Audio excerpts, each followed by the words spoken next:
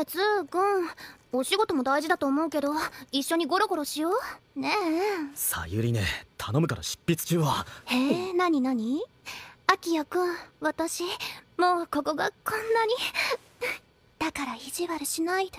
うわやめてくれ！